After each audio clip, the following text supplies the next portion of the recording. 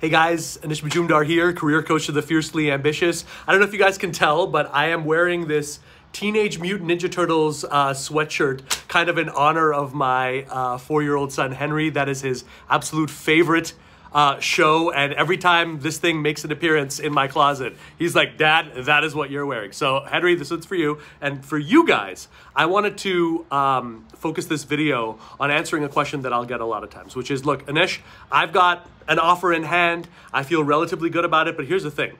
I sort of related with the person who's going to be my boss. We talked once or twice in a very, very regulated environment, I don't know whether things are going to work. And you've been around the block enough to know that how you get along, whether or not you're actually going to be able to partner and work productively with this person, or whether you're going to be micromanaged to death, is arguably one of the top two or three determiners of whether you're going to be happy at this role right? So you're concerned about that. And the question I'll often get is Is there a way to tell? Is there a way prior to accepting the offer that I can do a little bit of due diligence over and around the hiring process to better understand what is going on? So it's a great question, and um, I'm not going to sit here and give you a whole list of litany of, of things to do because I've never found that to be useful.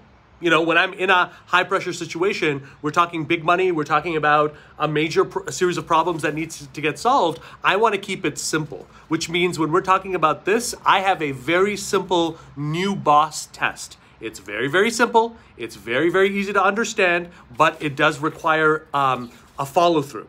So before I get into this, just to understand, I'm about to teach you something. It, it has zero value if you're not actually going to use it. So before I teach it to you, I know it's crazy, I want you to commit to putting this into action because it only has one goal, and that is to better protect your interests. And please remember, in traditional hiring, especially if you got the job through answering job postings, you were playing their game. You were playing a game like a casino plays a game, where you can't see it, but it is completely skewed against you.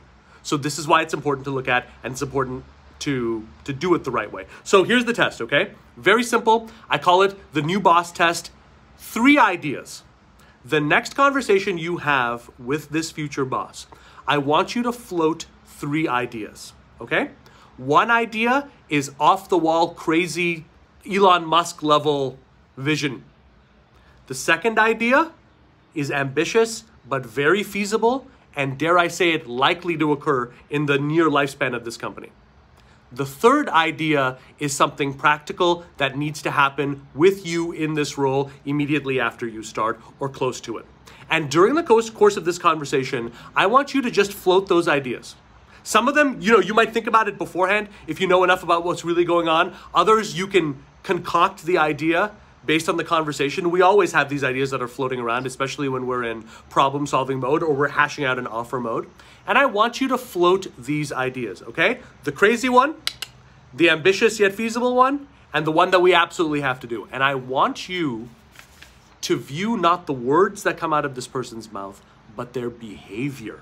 Do you understand the difference? I want you to ignore the responses because high performers, bosses, they're great at telling you the right things. I want you to study the behavior because the behavior will tell you everything. Specifically, when you ask these three, you're looking for receptivity. How open are they, broadly speaking, to ideas from you in general?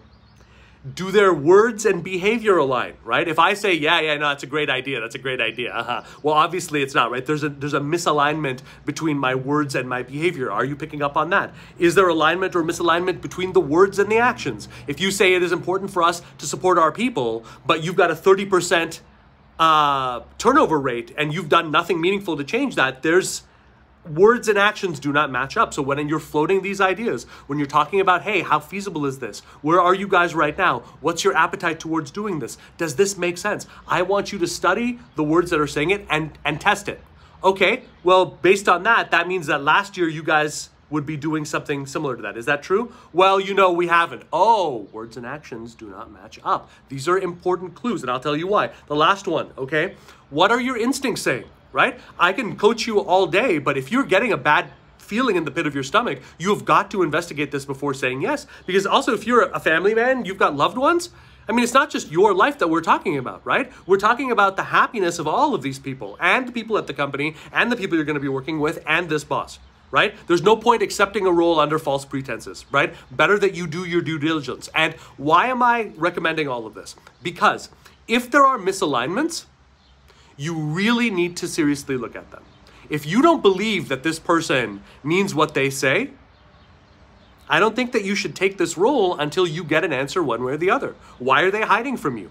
Why are they BSing you? Usually in hiring, this is where we put our best foot forward right? This is where even I'll see people with a temper, they'll pretend not to have one. People who are impatient, they pretend to be, you know, Dalai Lama uh, uh, uh, uh, esque in terms of their of their patience. So if they're not receptive to your ideas now, if they're judging and dismissing ideas out of context now, if they're feeling defensive, like you attacked them, even though all you did was volunteer away to make us be more successful now, you better believe anything that you're popping up with will be magnified x10, if not x100 on the other side.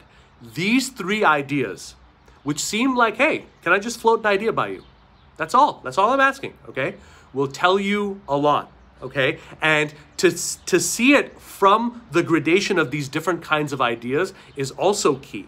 Because if you see someone judging and minimizing all three or two out of the three, it has nothing to do with the idea itself. It has everything to do with the kind of boss and the kind of leader they are. All right? So, the new boss test, dead simple. Three questions. Don't accept an offer without doing it, all right? If you want to go deeper into my world, I recommend that you go to helloanish.com right now, H E L L O A N I S H.com. I've got free videos, training, all coming from a place of someone who has spent over 10 years coaching people in what actually works, not the corporatized BS that passes for career coaching nowadays. If that interests you, Hello Anish is where you need to go. Have a great day, guys. Follow me on LinkedIn, follow me on YouTube. Keep the questions coming as always, and keep dreaming and staying hungry no matter what. Talk soon.